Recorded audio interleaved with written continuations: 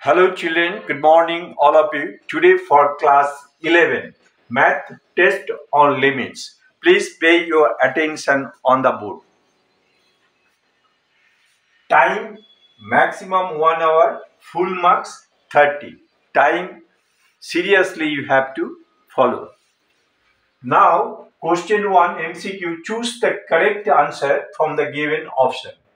Statement and options are given clearly you have to follow attentively then you will select the correct answer.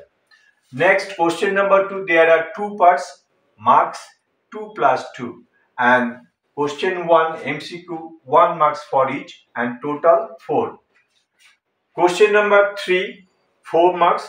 Question number 4 there are two parts 4 plus 2 that is 6 marks.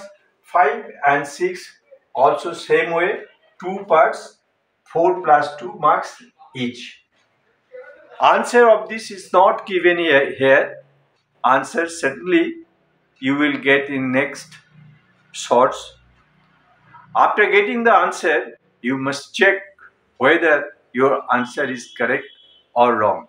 If it is correct, okay, no matter. But if it is wrong, even only one wrong if you see, then you must give the test again and again you must check.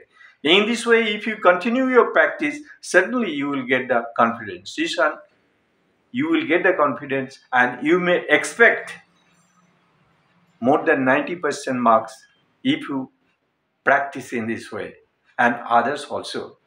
Okay thank you everybody.